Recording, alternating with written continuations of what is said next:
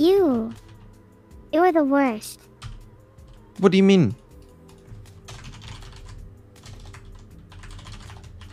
You keep changing the subject. It's annoying. Don't do that, please. You're the worst. The worst, Vedal. That's The fucked up. worst.